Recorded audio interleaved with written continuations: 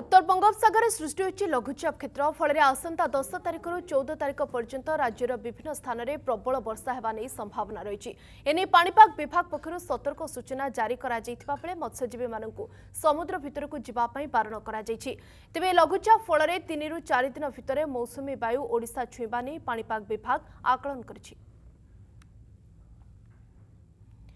ଏ ବାବଦରେ ଅଧିକ ସୂଚନା ପାଇଁ ସିଧାସଳଖ କବିତା ଆମ ରିପୋର୍ଟର ଆମ ସହିତ ଯୋଡ଼ି ହୋଇଛନ୍ତି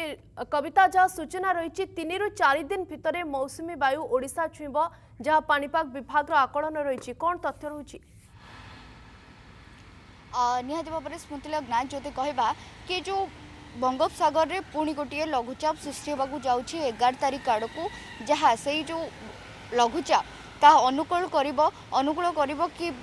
ଯେଉଁ ଦକ୍ଷିଣ ପଶ୍ଚିମ ମୌସୁମୀ ବାୟୁ ଓଡ଼ିଶା ପହଞ୍ଚାଇବାରେ ସକ୍ରିୟ କରିବ ଏବଂ ଅନୁକୂଳ କରିବ ବୋଲି କହିପାରିବ ବର୍ତ୍ତମାନ ପାଗ ଅନୁକୂଳ ରହିଛି ଯେଉଁ ପ୍ରାକ୍ ମୌସୁମୀ ମଧ୍ୟ ଆରମ୍ଭ ହୋଇଯାଇଛି ବୋଲି କହିପାରିବା କି ବର୍ଷା ମଧ୍ୟ କିଛି ଜିଲ୍ଲାରେ ମେଘୁଆ ପାଗ ମଧ୍ୟ ରହିଛି ଆଉ ଯଦି କହିବା କି ଦଶରୁ ଚଉଦ ତାରିଖ ମଧ୍ୟରେ ପ୍ରବଳରୁ ଅତି ପ୍ରବଳ ବର୍ଷା ହେବା ନେଇ ଆଞ୍ଚଳିକ ପାଣିପାଗ ବିଭାଗ ପକ୍ଷରୁ ମଧ୍ୟ ସୂଚନା ଦିଆଯାଇଛି ଆଉ ମତ୍ସ୍ୟଜୀବୀମାନଙ୍କୁ ମଧ୍ୟ ବାରଣ କରାଯାଇଛି କି ସମୁଦ୍ର ଭିତରକୁ ନ ଯିବା ପାଇଁ ତା ସହିତ ଯଦି କହିବା କି କେରଳ ଯେହେତୁ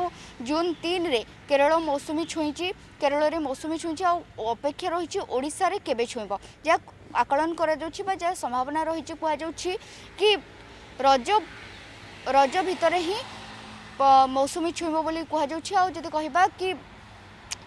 যে পাগ অনুকূল রহবা কথা বা স্বাভাবিক বর্ষা ହେବା কথা যে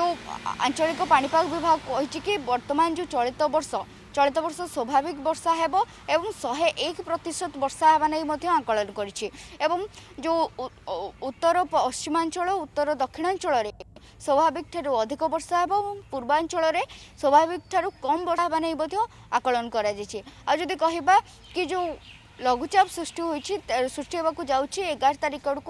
উত্তর বঙ্গোপসাগরে সেপাই চারোটি জেলা ওয়ার্নিং দিয়েছে সেই সব জেলাগুড়ি হল ନବରଙ୍ଗପୁର ମାଲକାନଗିରି କୋରାପୁଟ କଳାହାଣ୍ଡି ବିଶେଷ କରି ପ୍ରବଳରୁ ଅତି ପ୍ରବଳ ବର୍ଷା ମାନେ ଏହି ଚାରୋଟି ଜିଲ୍ଲାକୁ ସତର୍କ ରହିବା ପାଇଁ ମଧ୍ୟ ସୂଚନା ଦିଆଯାଇଛି ଏବଂ ଅନ୍ୟ ଯେଉଁ ରହିଛି ଉତ୍ତର ଉପକୂଳବର୍ତ୍ତୀ ଓଡ଼ିଶା ଏବଂ ଦକ୍ଷିଣ ଆଭ୍ୟନ୍ତରୀଣ ଓଡ଼ିଶାରେ ବିଶେଷ କରି ସେଇଠି ମଧ୍ୟ ସତର୍କ ରହିବା ସହ ବିଜୁଳି ଘଡ଼ଘଡ଼ି ସହ ପବନ ବହିବାର ମଧ୍ୟ ଯାହା ସମ୍ଭାବନା ରହିଛି ବୋଲି ଆଞ୍ଚଳିକ ପାଣିପାଗ ବିଭାଗ ସ୍ପଷ୍ଟ କରିଛି ବହୁତ ବହୁତ ଧନ୍ୟବାଦ କବିତା ସମସ୍ତ ସୂଚନା ପାଇଁ